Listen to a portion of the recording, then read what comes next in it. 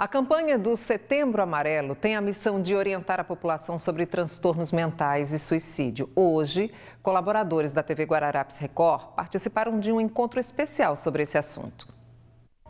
A TV Guararapes deu um passo importante na conscientização sobre a saúde mental. Nesta segunda-feira, colaboradores da emissora assistiram a uma palestra em alusão ao Setembro Amarelo, um momento para promover diálogo, compreensão e cuidado. Aqui nós temos uma, um público né, formador de opinião temos jornalistas, radialistas, pessoas que realmente transitam e que com mais conhecimento poderá multiplicar isso, né? esclarecer perante as pessoas, além de, claro, dos nossos telespectadores que merecem toda a nossa atenção. E o Setembro Amarelo é um, um, um mês de muita preocupação. Em casa, no trabalho e em outros ambientes, é possível que, em meio à correria, muitas pessoas carreguem sentimentos invisíveis, capazes de desencadear quadros de ansiedade e depressão.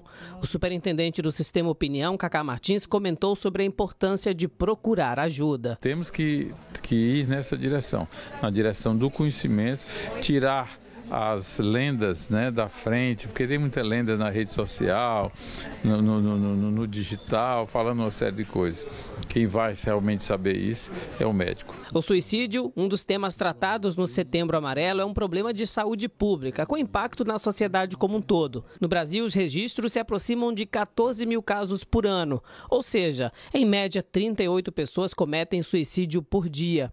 Os estudos revelam que praticamente 100% de todos os casos de suicídios estavam relacionados às doenças mentais, principalmente as não diagnosticadas ou tratadas incorretamente. Conversar, ouvir e estar presente são formas de demonstrar que você se importa com alguém. Às vezes, por causa da correria, dos afazeres no dia a dia, a gente nem percebe que a pessoa ao lado pode precisar de ajuda.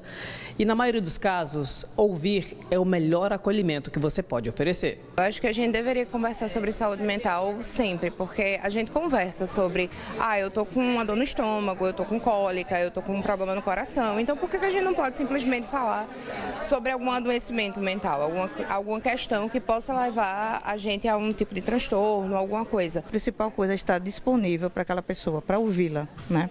É você chegar e dizer, olha, fala o que é está acontecendo, como é que eu posso te ajudar? E escutar, e não já dar soluções prontas, de dizer, não, mas não pensa nisso não, não, mas não faz isso não. Se esses sentimentos, esses sintomas, esses aspectos físicos estão trazendo muito prejuízo na vida, é, o interessante é que seja avaliado por um profissional, um psicólogo, um psiquiatra, um médico generalista, eles podem fazer, identificar quando isso é apenas um sintoma, um sentimento, ou quando isso é um transtorno. E aí sim entrar em um tratamento.